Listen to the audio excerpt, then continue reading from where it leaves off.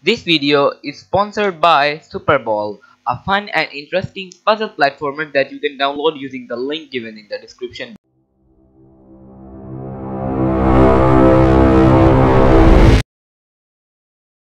Welcome to another episode of Doom. So, in this episode, I had originally planned to program the state machine, but uh, today we are going to do nothing but art. So, let's get started. So, first off, we are going to create a new model for the shotgun because while the current shotgun model looks pretty good in a render, in the actual game, it kind of sucks. Yeah.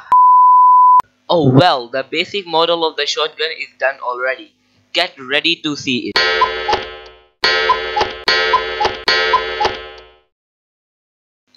Well, well, well, doesn't it look awesome? Yeah, it does. It's in fact, I think the best thing that I've created in Blender. And I guess that everything looks fine, but now we are going to add subdivision surface. And just like that, look at this. I mean, it's it's smooth, which, which is completely like awesome. So yeah, that's pretty good. And yeah, that's the final model of the shotgun.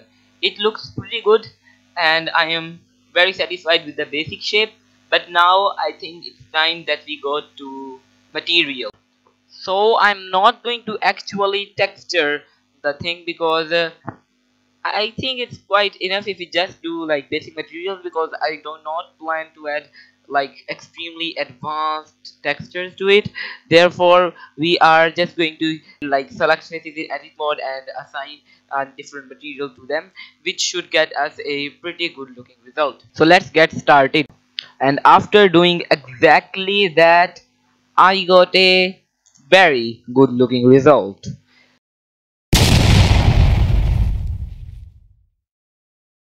Alright, now the only thing left is to create the animation.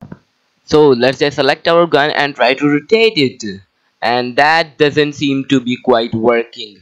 So now we'll just select all of these, uh, I mean just select all of that objects and then in the end select our gun's main handle and hit Control P keep transform which should parent it. Then I'm going to just set the origin to the geometry and just like that we can rotate the gun. This is what the animation looks like when finalized. So now we have got one item of our checklist.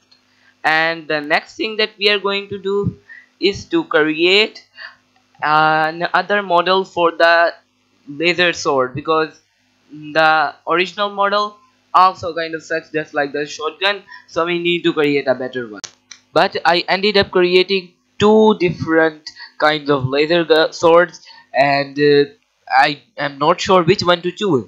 So give your opinion in the comment section below. And before we wrap up this video, I want to address a slight problem.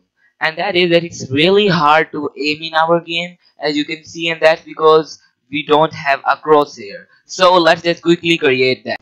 So first we will create this image in Photoshop and then put it in the game. That's pretty nice so anyways i am going to end the video here and i will see you in the next episode and don't forget to join my discord server